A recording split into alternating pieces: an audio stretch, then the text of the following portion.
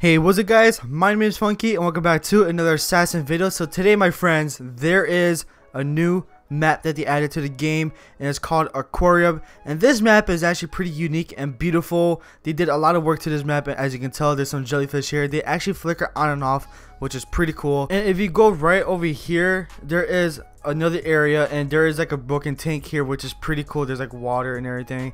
And they spent probably a lot of time making this map. You can tell because of all the great detail they put into this.